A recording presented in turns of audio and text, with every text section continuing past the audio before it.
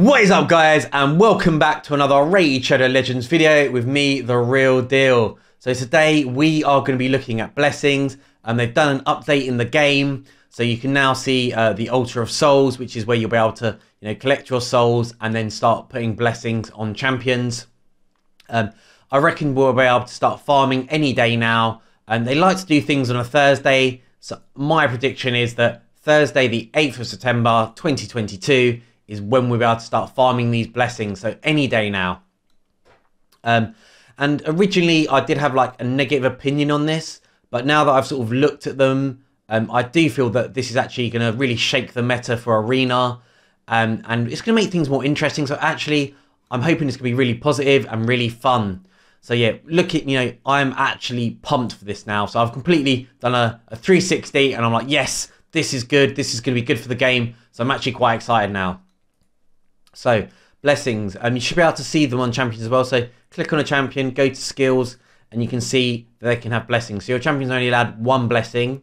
Um, you can see we've only got one star at the moment. So what happens is you'll farm these uh, souls, and um, you have to get them for specific champions, which is a bit frustrating. Um, so you can't just farm it like the Minotaur. Um, you do have to sort of collect them for specific champions. But um, when you sort of six star them, so basically your champions, it's almost like ascensions. So you can ascend the champions obviously six times. So you go from yellow stars to purple stars. And now the new thing will be red stars. Um, and basically um, your blessings, you can only have one at the moment. Um, but you sort of get them to six. And when you get them to six stars, that means your champion's blessing is going to be more powerful and be able to have like more chances to do things, etc., etc. Um, and the other thing is that um, at the moment, it's only going to be one blessing, but I can definitely see in the future them increasing it to two or potentially even three. Um, but that's probably going to be way, way further down the line. So let's not worry about that. And yeah, so what I want to do is um, have a look at the blessings. Uh, we're going to start with the legendary ones first, then epics, and then rares. And uh, yeah, just talk about who I think they'll be useful on and what impact they'll have on the game and meta. So first up, we're going to have a look at the Chaos Legendary blessings. So we've got Brimstone. Um, I imagine this will be really good for Hydra and Clan Boss. I don't think it's going to be that great for Arena. Um, so basically what will happen is we put out a Smite debuff on the enemy. Um, and then basically um, when they use an active skill, um, a Meteorite will hit them. And this does 25% of their max HP to them. So I imagine it's be really good for, like I said, for Clan Boss and Hydra. I just don't see it doing a lot of damage in Arena. And then what happen is um, the rest of the team will have um, damage done to them equal to 5% of their max HP. So that's why I think it's going to be really good for Hydra. Um, only one Smite debuff can be active per team. It cannot be removed, blocked, resisted, or transferred. Um, Polymorph, I think, is really interesting. Um, definitely reminds me of World of Warcraft if you've ever played Mage. And um, what happens with this one is basically places a sheep debuff on enemies for two turns whenever they place a debuff on this champion um, or removes or steal buffs from them. This debuff cannot be blocked, resisted, and it cannot be placed on bosses. Um, whenever a sheep debuff expires or the sheep is defeated, the affected champion will return to the battle with 50% HP. So I don't think this is going to absolutely break the meta, but I definitely think it's going to be interesting. I think it will pair up really nicely with Stone Skin. Um, but for example, um, anyone that throws out any debuffs on you, so like Prince Kymar, there's a very good chance you'd, um, you know, sheep him or polymorph him. Um, anyone that's throwing out debuffs like your Madams, um, you know, like uh, AoE decrease uh, defense, that will probably polymorph them. The only problem is though, uh, most nukers that you're going to be using aren't going to be throwing out debuffs, so they'll still be going strong and they'll still be doing damage. Um, so it may not be that useful, but you know we have to play with it and see what works. So I think it is going to bring like a really interesting dynamic to the game. So fingers crossed on that one. Um, Life Harvest. Uh, so these are the war blessings. Uh, so Life Harvest destroys a portion of revived enemies' max HP whenever they are revived. Um, this is going to be absolutely trash for Arena. I can't see it being useful at all. Um, so yeah, not and you know and having your um, champions HP meter boosted. It's okay. It's not going to be amazing. And there may be like elements of uh, PVE that this might be useful in, but for arena, just trash. Um, you know, enemy max HP, like destroying enemies max HP. It's never had a, pay, a place in the arena and it just takes too long. It's not going to be useful at all. Um, Soul Reaper sounds really interesting. So what will happen is when this champion hits an enemy target and decreases their HP to a certain threshold, a Reaper will appear and deal extra damage equal to the enemy's uh, sorry, the target's remaining HP. For AoE attacks, each target has their HP reduced to the threshold in the attack, will be visited by a Reaper. The Reaper will ignore defense, which is really nice, um, and as well, um, all damage reducing skills, effects, and buffs. So, Strengthen, um, Duchess's passive that reduces AoE damage. Um, that's not going to make any difference. So, the Reaper's still going to hit really hard. Um, so yeah, I'm you know it's really hard. I could this one could go either way. It could either be really really good for arena, or it might just be mediocre. It's really hard because you don't know what the numbers are like, so we'll have to wait and see on that one. Um, if the target survives, has a chance of placing True Fear debuff for one turn. So that's really nice. Obviously, True Fear is one of the most annoying debuffs, especially for arena, because um, it can just completely waste your cooldowns. So yeah, can be very frustrating. The this is this this one right here, um, intimidating presence. I think it's going to be absolutely amazing for the arena. I think it's going to be essential on anyone that's got a speed aura like your Arbiter, Prince Kymar. Um, so basically, what it does is it's going to um, increase your Arbiter's um, speed aura, and and if the enemy team don't have this, then it's going to push down their speed aura, so you've got more chance of going first. Um, so I think this is really going to be part of the meta, especially for speed. For the speed meta, this is going to be absolutely essential. And yeah, it's, it's just to, your Arbiter will be an absolute beast if you manage to get this. So Lightning Cage, whenever an enemy receives a buff or has their turn meter filled, places one Lightning Orb stack on this champion. When an active Lightning Orb stack roundly protects one other active buff from being removed, stolen, or transferred. After activation, the Lightning Orb stack will disappear. A champion can have a maximum of three Lightning Orb stacks at one time. A champion with three Lightning Orb stacks with uh, sorry stack hits enemy targets, inflicts bonus damage based on their their max HP. Bonus damage can occur. Sorry, occur, occur, occur. Bonus damage. Bonus damage can happen on each hit of a skill, but does not count as an extra hit. After the bonus damage is applied, um, all act lightning active stacks are removed from this champion. So I just want to read it again just to make sure I understand it. When active lightning school, uh, sorry, lightning orb stacks randomly protects one active buff from being removed. So basically, um, I don't know if this one's going to be that amazing. Um, it might be useful on champions that cut in like, um, I really think this can be really good on like Valkyrie, um, so it can protect um, her counter attack from being stolen and her shield. However, um, I don't think it's going to go across the whole team, so it may not be that great. So going to have to see on that one, but it is, it is quite interesting. Um, so these are the dark blessings. So first up, we got um, temporal chains. So um, decreases uh, each. Sorry, decreases each enemy speed for active buffs they are under. So this is going to really help people cut in um, on Arbiter teams. So, you know, their Arbiter speed boosts, um, then, you know, we're going to sort of slow down the enemy's team um, speed. So there's a good chance for us to cut in. Um, so I imagine this might be quite good luck on a Master Yoshi or, or actually any champion that can cut in. Like Lady Kimi's really good for that as well. So yeah, on those sort of champions, and that's going to really help you. And it's got a full uh, four turn cooldown. Whenever an enemy receives a third act, sorry, so I think that happens all the time. But then we've got whenever an enemy receives a third active buff, instantly decreases turn of all enemies by a certain amount, and that's on a four turn cooldown. So I think that is this is like top notch. Um, yeah, S tier blessing right there. Definitely worth getting. Uh, Ward of the Fallen.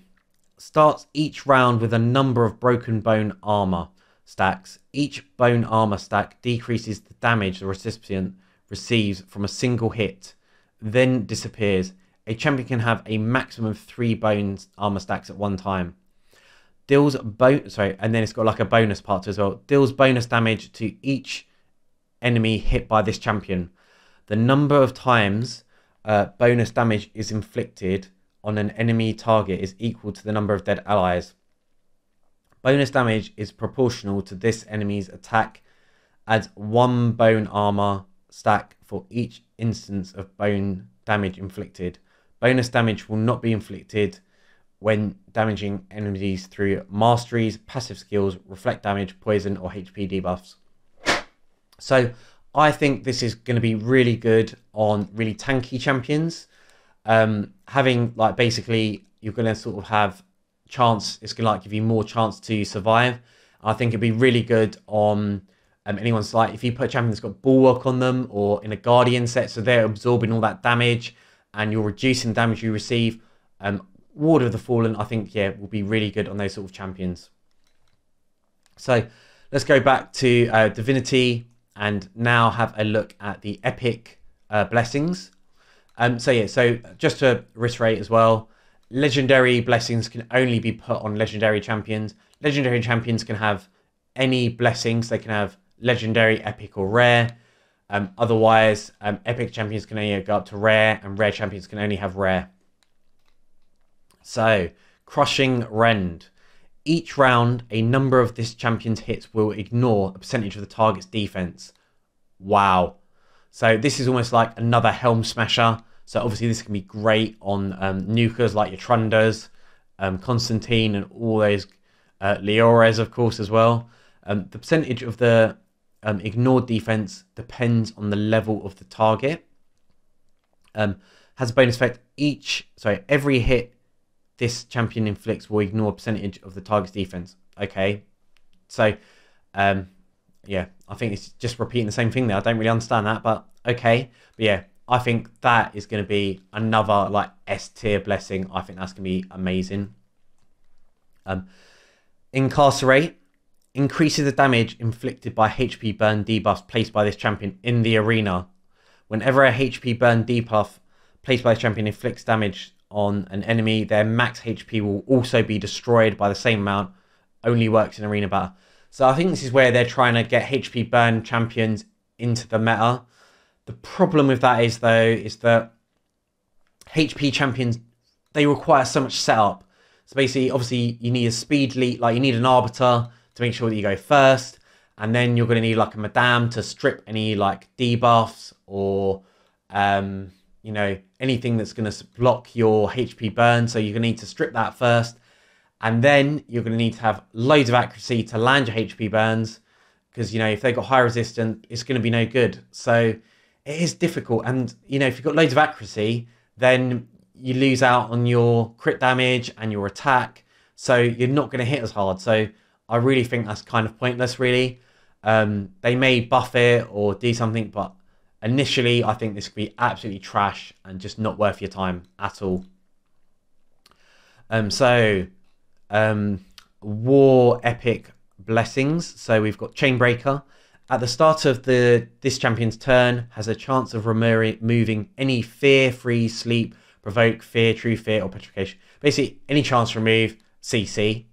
Only activates if this champion is under one of these debuffs, and it's on a three-turn cooldown. Whenever this champion is hit by an enemy while under one of these debuffs mentioned above, has a chance of partially filling this champion's turn meter as well. So that's really cool. That's really useful. Um, it's a bit like that mastery. So um, in the um, defensive tree. Um, so yeah, really cool mastery. I think that's going to be really cool, really useful. Great for revivers, great for tanky champions as well. Uh, command presence strengthens your team's aura. If multiple champ, okay. So basically, this is a weaker version of the um, light divinity. Um, it's still, I think, really good, but it's not going to be absolutely amazing. It's obviously for people that are probably like more mid game, so they can get involved as well. So on your higher Katoons, Skull Crown, and all those sort of champions, um, yeah, but not not not amazing, but still pretty good. Um, light divinity, uh, sorry, divinity of light blessings. So we got uh, heaven cast. Debuffs placed by this champion's default skills will ignore a percentage of the target's resistance. So that's really cool. Um, so debuff placed by this champion default. So it's only default skills though. So um, you're really gonna have to have like a look at what champions are uh, can use on their A1, um, and it and it only percentage. So it depends how much resistance it ignores, I guess as well. But for example, Rotos it might be useful one because he has um, what's it? He has decrease um, um what's it? Decrease defense on his A1, so that might be really useful. There's other champions I'm sure that are as well, but you know you're gonna have to do your do, do your homework and look into that. So I think that could be quite useful. But it's a bit situational. It's a shame it's not all skills.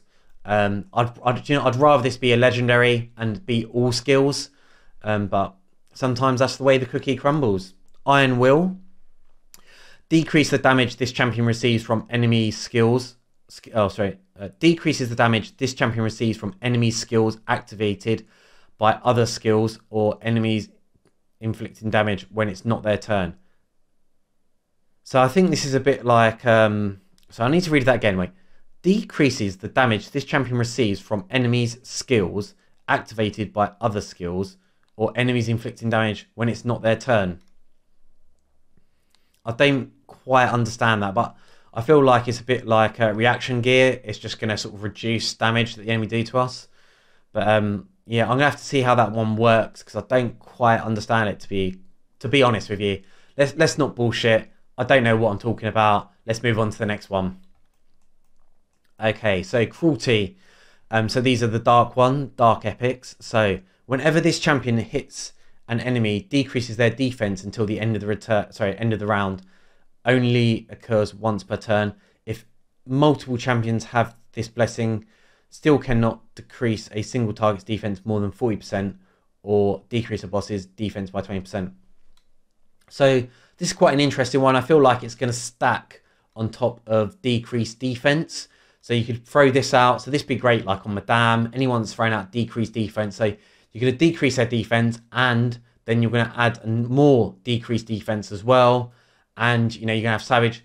They're basically gonna be naked, and you should just absolutely slam when you hit them. So yeah, Madame, I imagine this is gonna be like for her. Like I said, any debuffers that do uh, decrease defense or weaken, this is gonna be amazing. So yeah, I think this is gonna be like another S tier blessing. Uh, lethal dose. Saw this one the other day, quite excited about this. So this is another one like the HP one, except it's going to be for um, poison. Um, so yeah, more, so basically increases damage received from poison debuffs placed by this champion in the arena. Will ignore 35% of the target's resistance when placing poison debuffs. So um, uh, um, so I imagine Kalvalax and Chorug, um, Chad, you know that new lizard guy. Um, I imagine that this is going to be like essential on them. Um, I don't know if there's going to be other more poison champions that might leak into the meta like Dark Kael uh, might be a good one. But yeah, so really looking forward to this. This should be really cool. And once again, they are trying to shake up the meta a bit and make things more interesting. So this is really exciting. Like I am pumped for this. So I hope this is getting you guys, uh, you know, I hope you guys are sort of feeling it. And yeah, see what happens. And let's just do the rare ones. Imagine the rare ones aren't going to be that great, but we'll have a quick look. Um, so this one is very similar to that um, that mastery um, in the defensive tree. Basically, this champion will receive less damage when under stuns, freeze, sleeps, fears, true fears, petrification debuff. So this could be really useful for revivers and healers in arena or even in PvE as well. Um, survival instinct partially fills this champion's turn meter whenever a debuff is placed or spread or transferred onto them. Um, so again, this can be like a useful one for helping people cut in, but it's only a rare one. So I don't think it's going to be that useful, but I'm sure people will find places in the meta for this as well. So that will be interesting. Okay, faultless defense. This champion will receive less damage for each subsequent hit uh, uh, hit from multi-hit skills. The damage reduced increase will be for every additional hit.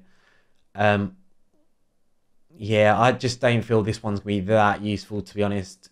Yeah, just just very average to trash. Average to trash. Hero Soul um, increases the damage inflicted to bosses and their minions according to the number of living enemies. Right, increases damage. Okay, so this will be great for Hydra and and probably Doom Tower waves would be really useful and helping you clear waves as well. So kind of a useful one, but like not not amazing, but not bad either. Miracle Heal has a chance of restoring a portion of any destroyed HP. Just trash, just useless. Um, there's no like destroyed HP is just not used in the game. Don't just don't even look at it. That is just ridiculous. There's even yeah, just a waste. Okay. Um, this one has a chance of placing any sorry, has a chance of blocking any stun, sleep, or fear debuffs when placing on this champion. That's a really cool one. That is really useful. Um, but obviously, if your champion's in stone skin, don't don't bother with this because otherwise it's going to be complete waste. Um, but could be very useful on some champions. Um, okay, and obviously anyone in, in high resistance gear as well would not recommend it. So Phantom Touch has a chance of placing um, inflicting bonus damage to one enemy whenever this champion hits enemy targets. When hitting multiple targets at once, only one champion will receive the bonus damage for turn cooldown. The bonus damage is uh, proportional to this champion's attack. Yeah, I just think I think that'll be okay. I think that's going to be sort of for people. Um, it's going to help definitely help people early game, mid game in um, PVE. So it's going to help you farm.